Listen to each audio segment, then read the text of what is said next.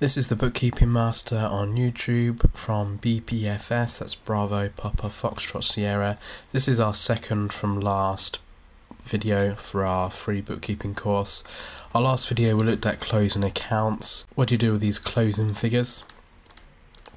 Quite simply, we take them to create management reports. Um, and in these videos, I'm going to show you how they're taken to create a profit and loss statement and a balance sheet. So our accounts or ledgers are all closed and we're going to look at a profit and loss. I think the name is quite self-explanatory. A profit and loss statement shows the profit or loss the company made within a certain period.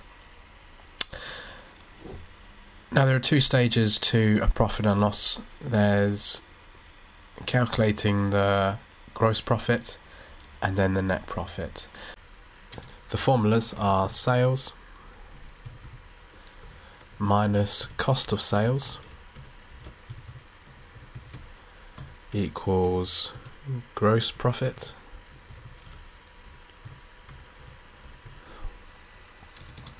And then to calculate your net profit it's your gross profit.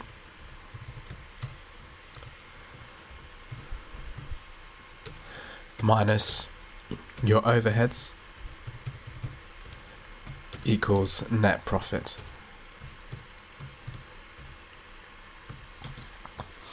Okay, so we'd bring our closing sales figures. You may have a number of sales figures to add together. You may have sales north, sales south, east, west, or online sales, shop sales. But you'd enter your total sales figures in here. So let's just say it's 2000. Our cost of sales are those expenses to the business that have a direct relationship with our sales.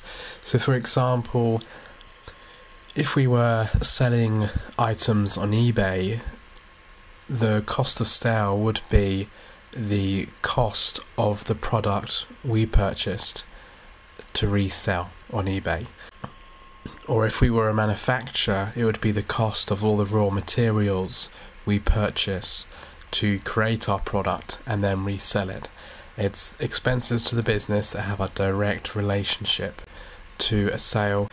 So say the cost of sales was 500.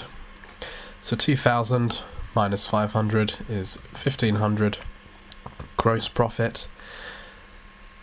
So our net profit is our gross profit, which is 1500 minus overheads, equals our net profit and that's our actual profit and loss figure for the period. So what are overheads? Overheads are expenses or costs that don't have a direct relationship. They have an indirect relationship. So and we call these variable costs and these are things like electric rent petrol vehicle expenses.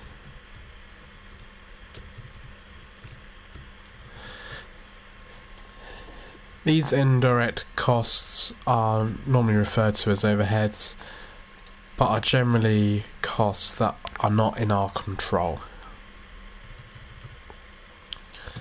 So let's put 200, 200, 100, and 50, just to make this simple. So that's 550. So 1500 minus our expenses is 950. And that's our net profit.